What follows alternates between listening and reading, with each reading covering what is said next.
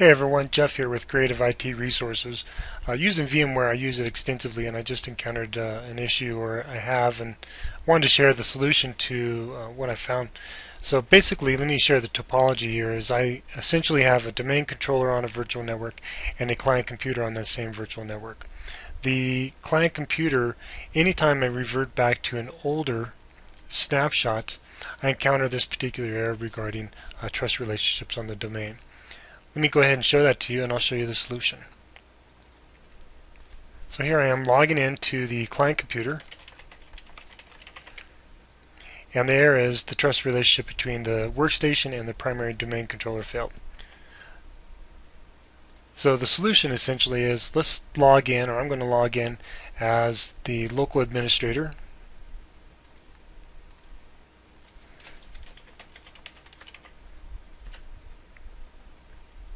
And the first thing we're going to do is open up PowerShell and run it as administrator.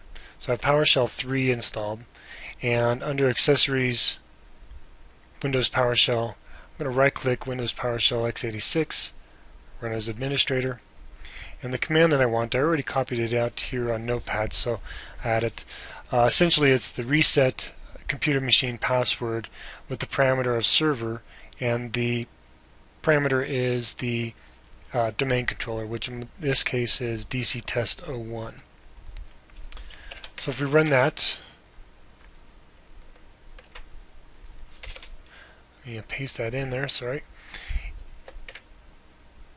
It'll reset the computer password with the domain controller and now everything's in sync and we're going to reboot and everybody will be happy. So let me go ahead and exit and reboot and I'll show you uh, the result.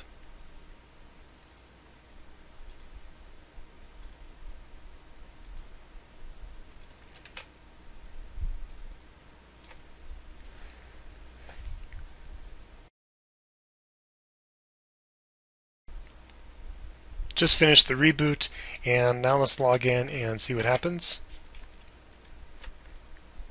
Log in as my domain user.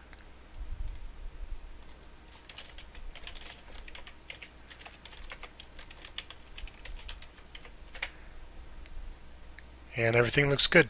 Now the importance of rebooting, you could actually not reboot and still be able to log in. However, uh, there's some propagation issues. For example, uh, I have SharePoint installed and I could not log into SharePoint. Uh, so just to share that with you. So the reboot's important. Nevertheless, thank you for watching. Don't forget to subscribe down below and thanks again. Bye-bye.